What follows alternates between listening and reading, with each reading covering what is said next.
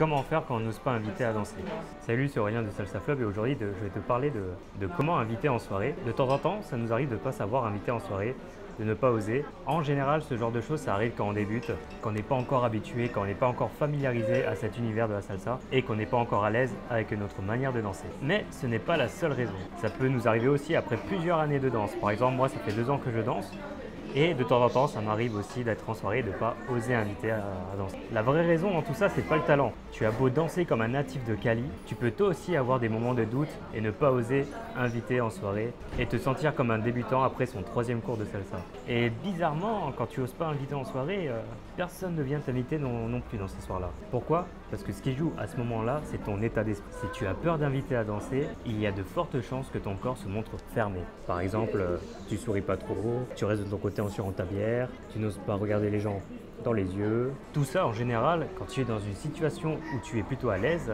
tu as tendance à le faire naturellement. Tu peux sourire, etc. sans même forcément t'en rendre compte. Et tu sais que tu as de la chance? Laisse-moi t'expliquer. Si le cerveau te dit aujourd'hui que tu n'oses pas inviter à lancer, tout ton corps va se montrer fermé.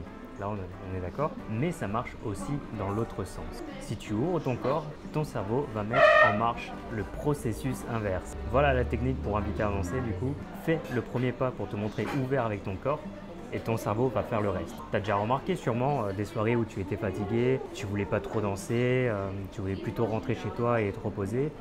Mais dès que tu arrives dans la soirée salsa, ton corps se revigore d'énergie et tu te mets à danser deux fois plus belle. Et eh bien là c'est pareil, il faut démarrer la machine.